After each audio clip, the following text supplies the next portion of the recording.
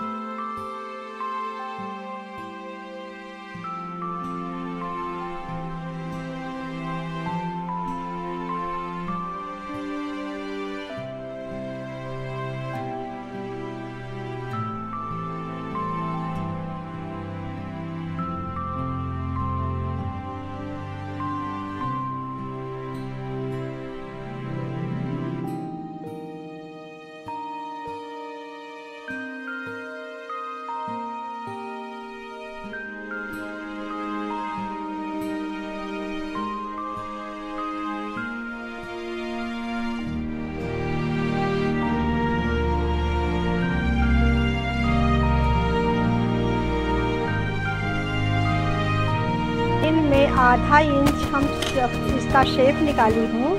और ये शेप केवल हम एक साइड में निकाली हूँ, दोनों आस्तीन के आगे वाले साइड में। एक साइड में मेरा वैसे ही क्लीन है पूरा।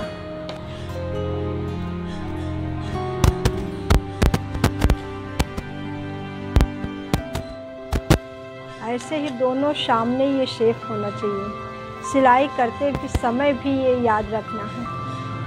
तो चलते हैं। चलते हैं अब मशीन पे। तब तक आप सब्सक्राइब ना किए हो तो सब्सक्राइब कर दीजिए। और साथ साथ लाइक भी कर दीजिएगा तो अब चलो सिलाई करके देखते हैं।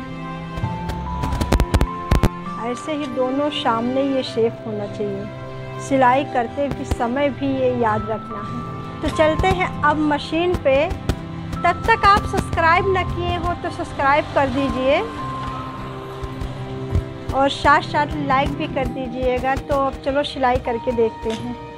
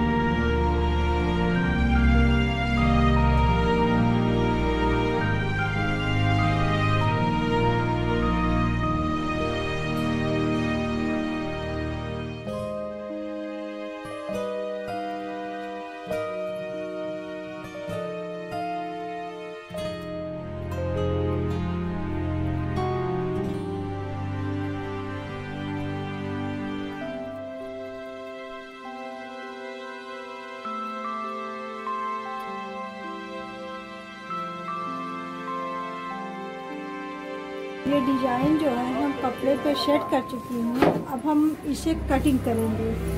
कटिंग करके फिर पलटे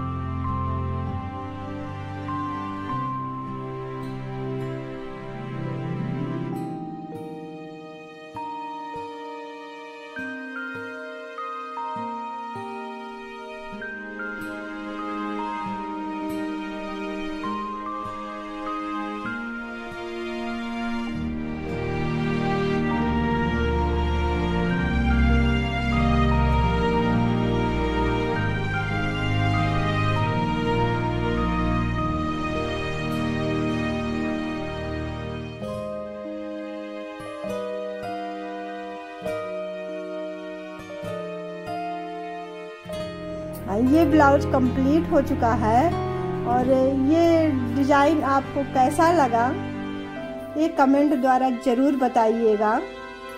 और इस वीडियो को देखने के लिए आपको बहुत बहुत धन्यवाद।